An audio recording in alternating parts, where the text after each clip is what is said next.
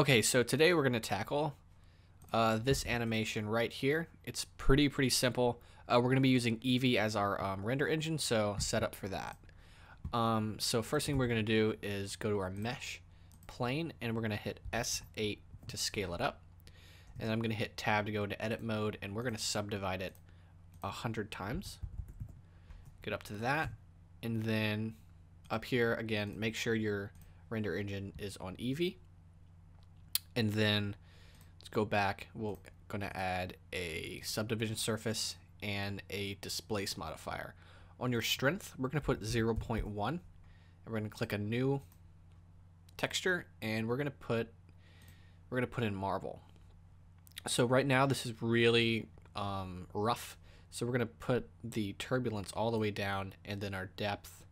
Actually, no, it's depth that needs to go all the way down and we can mess with this turbulence because the depth makes it look kind of like a rock. Um, but we don't want that. So put your depth all the way down, and then we're going to put our scale pretty far down, all the way to 2. Um, and then hit tab twice to edit it until they fix that, that uh, kink in the system. You have to hit tab to update the displacement. Um, so for the animation, we're going to add two things. We're going to go to the curves, add a circle, and then we're also going to add an empty plain axis. So select your empty and go to the constraints, add a constraint, and over here, click follow path and click the circle.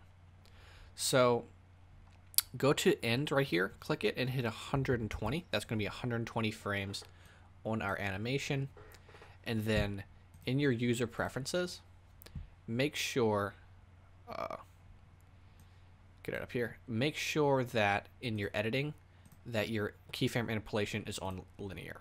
That'll make it a seamless loop. So over here in your constraint, right here on offset, offset yeah, um, insert keyframe, go to the very end, hit the right arrow and click 121 or just you're not clicking anything you just go go to right and then hit 100 on the offset and insert keyframe and so that is just going to go, that's just going to make it go in a nice circle, which is allowing the displacement to go in a loop. So let's do that next. Click on your plane, go to the displacement, and then right here on displace, instead of local, click um, object. And then in the objects, pick your empty. And then that is going to animate it like this for now. So I'm going to put my um, subdivision view at zero just so we can sort of watch the animation in real time.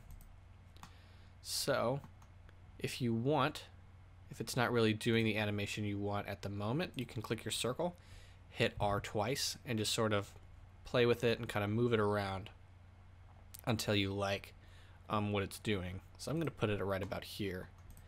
And then you can go back into your texture and you can edit the size and just do whatever you want. I'm going to leave it at the biggest size for now. So we're going to add a camera and then in your camera settings, instead of perspective, give it orthographic. And then we're going to hit Control Alt 0 and yeah. So right now it's too big. I'm going to go back into my uh, texture on the displacement and we're going to change the size here. So we need to add one more modifier.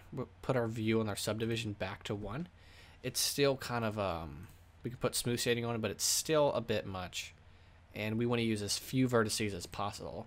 So we're going to add a smoothing modifier and then on repeat, just bring it down a little bit.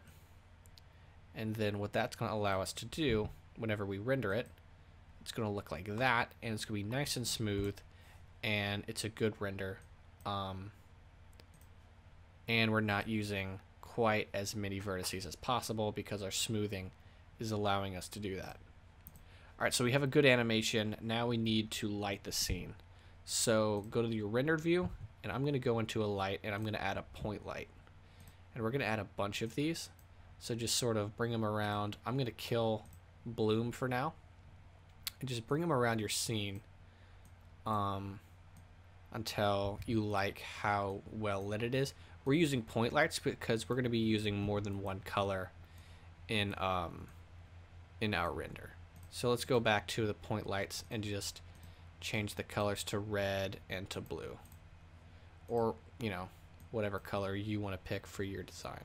Okay, so this is good for now. I'm going to add a texture. It's going to be a dark uh, black. It's going to be a glossy dark black for our design. It's gray at the moment. Bring all the way down. And so let's add a couple more lights to this scene. Sort of fill it out. And we should be good.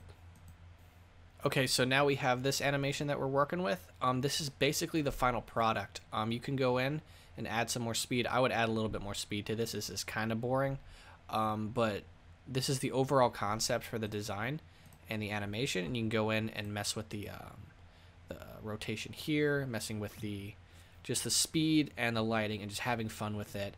And for the export settings, um, I'll show you what I use for that. Um, I'll use FFmpeg video and then in your encoding, which is super important, put it on MP4 and keep your video format at H264 in medium quality, and that's going to get you um, good export settings, and it's not going to be uh, overload your computer in any kind of compression or anything like that. So yeah, this is basically the design. Um, have fun with it. I hope you learned something, and yeah, thanks for watching.